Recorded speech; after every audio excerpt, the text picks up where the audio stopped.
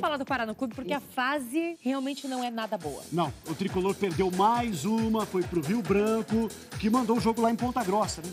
Volta, Tcheco! Noite fria em Ponta Grossa, mas o início do jogo foi quente, com um pouco mais de 200 torcedores nas arquibancadas. O Rio Branco teve a primeira oportunidade com o Vandinho. O goleiro Thiago Rodrigues fez a defesa e deu uma bronca na zaga paranista. O Paraná também teve chances nos primeiros minutos de jogo, começando por essa, após cobrança de escanteio. No chutaço do Zezinho também. E com o Thiago Santos, que tinha a opção do passe, mas mandou para fora. Aos 29 minutos, o Rio Branco abriu o placar numa jogada de bola parada, cobrança de falta e o gol do Rodrigo Jesus. O Paraná reagiu e um minuto depois até fez um golzinho, mas a arbitragem deu impedimento na jogada do Thiago Santos. Em outro lance de bola parada, o Rio Branco encontrou o segundo gol.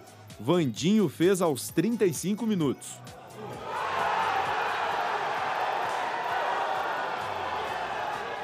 No segundo tempo, os dois times tiveram poucas finalizações. Deu para contar nos dedos. Para não dizer que não houve nada, teve essa do Rio Branco. Ah, e o Diego Santos do Paraná também mandou essa foi um chute para mostrar que a fase do Paraná não é nada boa. Nos últimos minutos do jogo, a torcida do Paraná vaiou o time e cobrou reforços. O técnico só pediu uma coisa: muita calma nessa hora. A torcida ela tem todo o direito de reclamar, ela tem todo o direito de vaiar,